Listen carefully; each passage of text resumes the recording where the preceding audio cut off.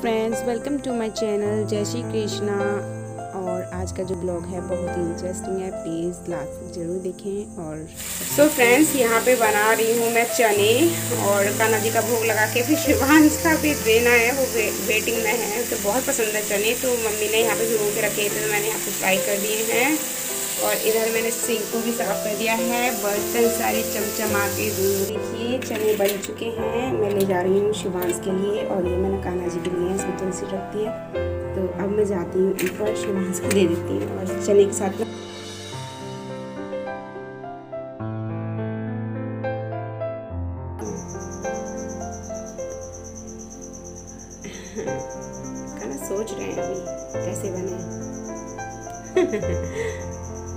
चलो ठीक है जय श्री कृष्णा आप सभी को भी। कान्हा जी के दर्शन हो गए ना और छोटे सा फ्रॉक बनाया शैली ने उनका मुकुट बड़ा प्यारा लग रहा है। तो आपको कैसा लग रहा है? और फ्रेंड्स मैं ना आपको एक बात बताना चाहती हूँ।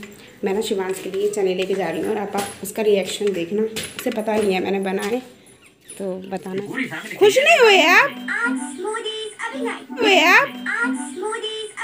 इतना खुश? चलो so welcome to my mummy's kitchen और हम बना रहे हैं यहाँ पे छोटे बहन भाइयों के लिए जैसा कि उनका है व्रत पूरे फास्ट रखे हैं। और शली तो कहाँ चली गई थी? मैं मुझे बुला रही थी। तो यहाँ बनाए हैं मैंने उनके लिए। ये देखिए अब अंधेरा आ रहा होगा। तो ये है सो एवरीवन यहाँ पे बना रही हूँ मैं समा के चावल की खिचड़ी और इनके व्रत के लिए। तो दही के साथ खा लेंगे और अपना खाना भी हमारा हो गया रेडी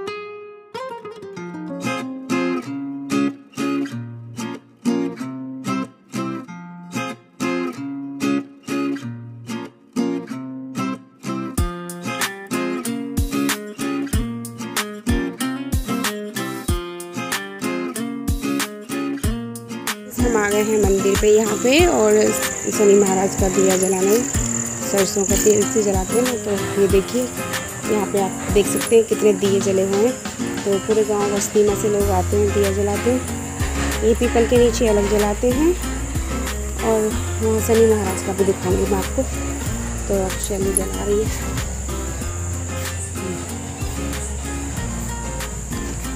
साफ़ नहीं आ रहा है। शिवांश होता तो बड़ा खुश होता है। वो इतनी रात को जंगल में है। मामा के साथ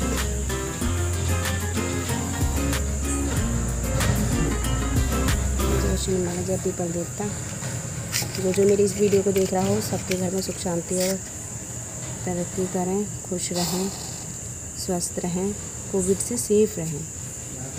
तो आप सबके लिए दुआ करते हुए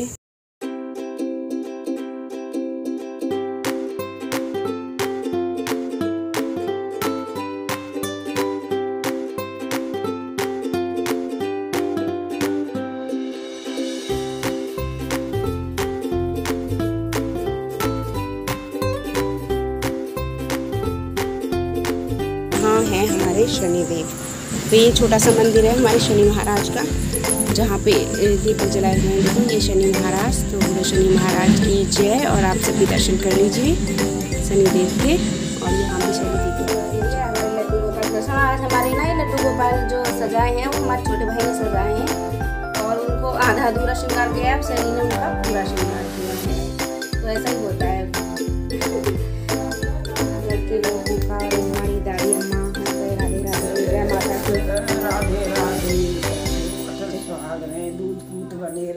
रक्षा करे भगवान बेटा तुम और ये आज की आरती के दर्शन माता रानी तो ये जो हमारा फ्रेंड्स पीछे जो कवाड़ा पड़ा था आज हमारी मम्मी ने उसे बेच दिया है।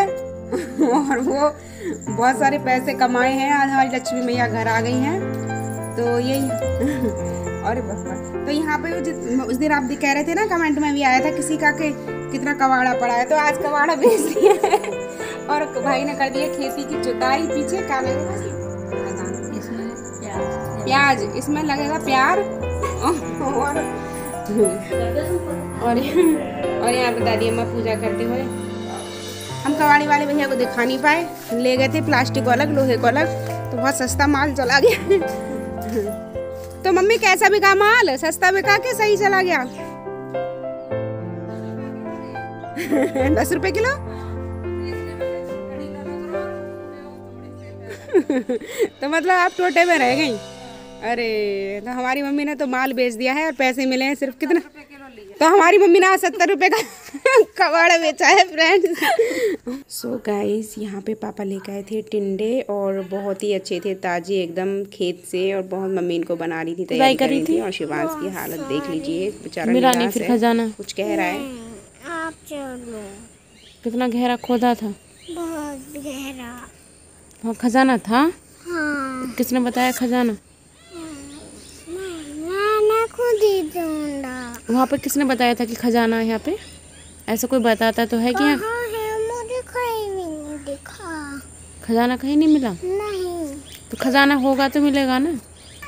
हैं खजाना?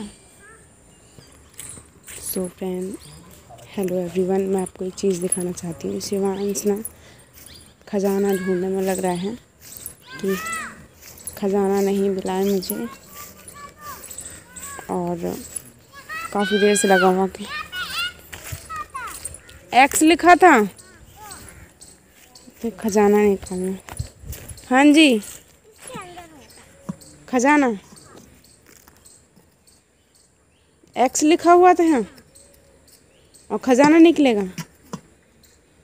किसने बताया था बेटा मैंने खुद ही मैंने सोचा था खजाना लिखा आपने सोचा था मैं खजाना निकाल लूँ? यहाँ पे एक्स भी लिखा था। तो जहाँ एक्स लिखा होता है वहाँ खजाना मिलता है। विक्रम नाना लाखन नाना नहीं आ रहे। वो तो भूल गए वो तो आ रहे नहीं है। कब तक आएँगे? मुझे तो नहीं पता बेटा। नंबर बताओ। हम्म, सात बजे। ला खल्लाना चार बजे। हाँ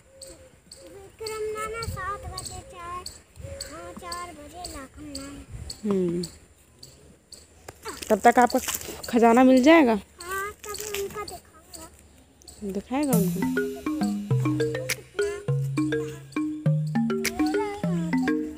और यहाँ सुनसान जगह पे वहाँ से अपना खजाना ढूँढने में लगा। गोबर।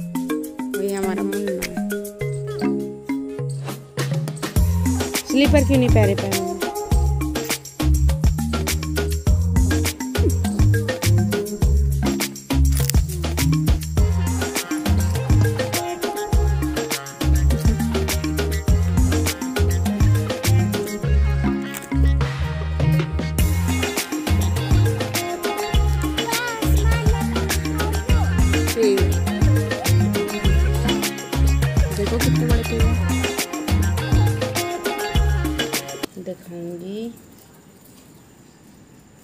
देखिए ये कटिंग कर लिया मैंने ब्लाउज़ की।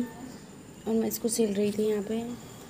और ये मेरी जो दादी हैं उनकी बहन है, उन्होंने ये मेरे को सूट दिया है। दिया था, उनके उन्होंने जागरण कराया था ना। तो ये मैं जा नहीं पाई थी तो उन्होंने मेरे नाम का दिया था सूट। तो मुझे ये भी सिलना है अपने लिए। देखिए, ये सूट है। कॉटन का बहुत अच्छा है सिंपल सा। तो इसको मैं सिल ले रही हूँ। और इस तरह से सिलने के बाद मैं आपको पहन के दिखाऊँगी। और मैं अपने कपड़े खुद ही सिल लेती हूँ। ये दुपट्टा था इसका। ये सिंपल सा दुपट्टा है इसका। सॉफ्ट सा कपड़ा है, काफ़ी प्यारा सा। सो so गाइज़ इसी की के साथ ब्लॉग का एंड होगा। आप सभी को बाय अपना ख्याल रखें। जय श्री कृष्णा। मिलते हैं एक अच्छी वीडियो में। बाय